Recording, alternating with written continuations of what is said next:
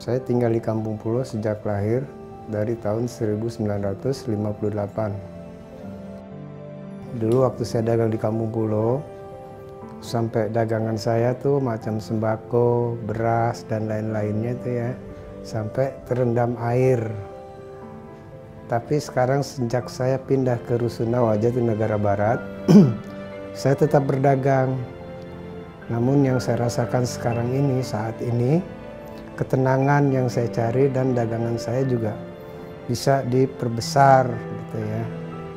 Kalau di sana kan kadang-kadang di got itu kan di Solokan itu depan rumah sampah orang minum es buang sampahnya ke got, buang apa ke got, bekas pempes eh, ke got.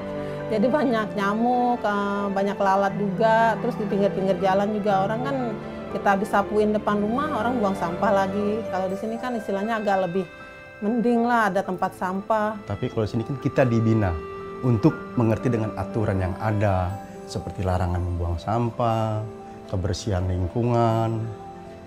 Jadi layaklah itu.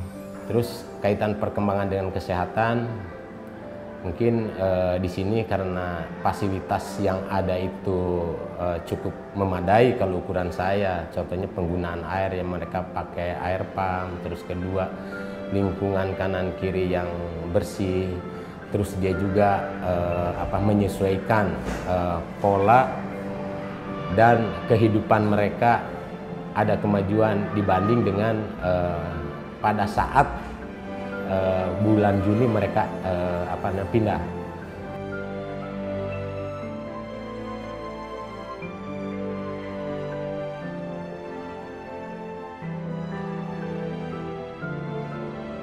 Adapun uh, pemberdayaan yang lain seperti halnya bisa kita lihat di sebelah timur itu ada hidroponik. Hidroponik itu uh, merupakan bantuan dari dinas uh, pertanian berupa tanam yang menyentuh ke uh, sistem pertanian yang uh, modern ya, itu kalau masalah dagang di Kampung Pulau dan di Rusunawa Jatinegara Barat yang sekarang saya jalani berdagang ya awal-awalnya sih memang sepi ya. Seminggu dua minggu tiga minggu bahkan sampai satu bulan. Tapi saya tetap bersabar. Yang lain pun tadinya juga banyak sih yang dagang cuman mereka tuh kurang sabar. Ya saya sih biasa berdagang ya saya, saya jalanin aja gitu.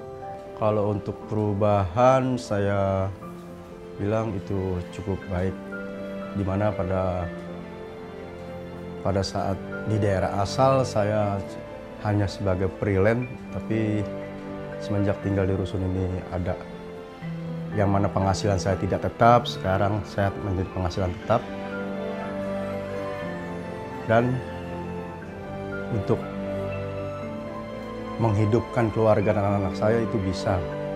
Bisalah daripada yang kemarin saya hanya memikirkan hari esok Nah sekarang ini yang saya tinggal menunggu tanggal aja. Alhamdulillah gitu ya. Nah, boleh dikatakan bisa menyimpan dan menabung untuk bayar rusun ini. Gitu. Waktu di daerah asal mereka hanya menyeberang sungai sampai sekarang kan cukup jauh dan adanya bis sekolah itu mereka dapat diantar jemput perginya diantar pulangnya dijemput dan dikembalikan ke rusun jadi itu cukup membantu. Jadi seandainya anak-anak kita memiliki uang jajan yang cukup atau kurang, tetap masih berangkat. Tidak memikirkan transportasinya lagi.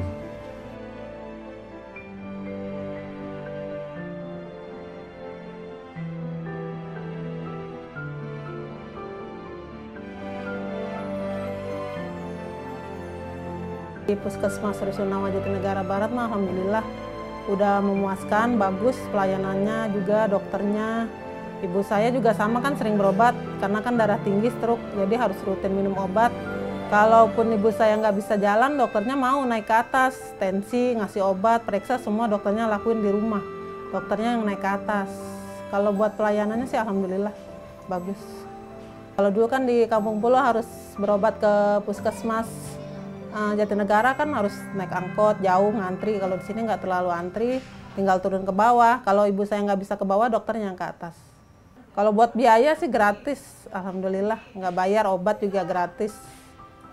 Kelebihan mungkin dari klinik rusun ini eh, jarak untuk pasien berobat lebih dekat. Nah, di sini tuh semuanya gratis gitu. Jadi untuk penghuni rusun gratis, mau punya BPJS, mau tidak punya BPJS. Kalau memang mereka penghuni rusun atau domisili di sini eh, boleh gratis gitu. Iya, saya sih ngerasanya di sini buat ada perubahan aja sebelum di pulau gitu. Eh, dari di, sebelum waktu di pulau gitu. Di pulau kan anak saya suka bandel lah main jauh gitu kan. Kalau di sini ya main paling ke mana ke puskesmas, eh ke apa perpustakaan gitu. Terus anak-anak saya kan yang dewasa juga ikut kegiatan Taran Taruna, ada kegiatan anak remajanya, anak-anaknya. Jadi kita merasa ny- tenang aja gitu, bersyukurnya gitu. Jadi anak saya juga dijaga lah gitu, kelihatan ini.